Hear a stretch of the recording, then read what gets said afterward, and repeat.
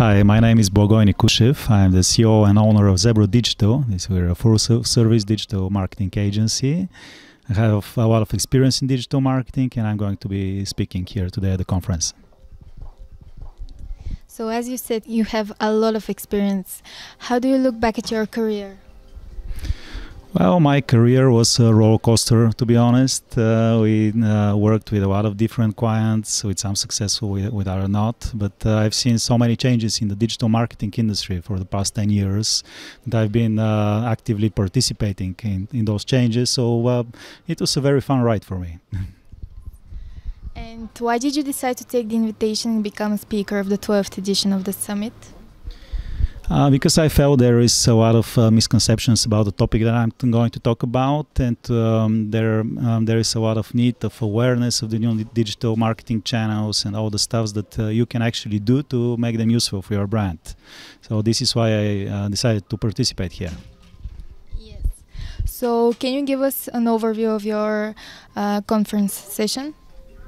Yeah, of course. Um, I'm going to be talking about uh, chatbots, uh, ch especially chatbots in the gambling industry, and different use cases for those chatbots. How are they integrated? Uh, how can you use them for support, for lead generation, for customer acquisition, and all, all the other uh, things that you can do with them? It is going to be pretty fun. And why do you think it is an important topic to discuss? Uh, as I said, there is a lot of uh, misconception about the chatbots, and uh, practically nobody is using them in their full capacity. And a lot of people know, uh, think they know uh, what is a chatbot and how to use it, but uh, in fact, almost nobody does. So I think it's very important because chatbots are the up-and-coming thing for the digital marketing and especially for the messenger marketing and conversational, you know, talking with your with your clients, you know, the channels. And we are also curious to know about your feelings regarding the conference. What is your favorite part up to now?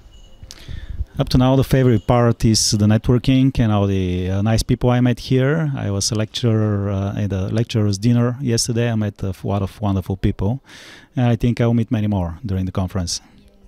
Let's hope so. So, if you could change anything in the present state of the global gambling industry, what would it be? Um, I would make it more responsible and a little bit more safety for the end users, for the people that are actually gambling. I think this is a huge issue because a lot of people are uh, destroying their lives uh, with irresponsible gambling. And it has to be uh, part of the regulations, and uh, there has to be some coordinated effort in uh, in that, you know, from all the players to keep uh, to keep it a little bit more safe. And last but not least, if you could give one advice for the upcoming speakers for the next year, what would it be? Well, just uh, take it easy, enjoy yourself, uh, meet all this, these wonderful people here, and uh, just try to rela relax and have fun. That was a great answer. Thank you very much. It was an honor talking to you.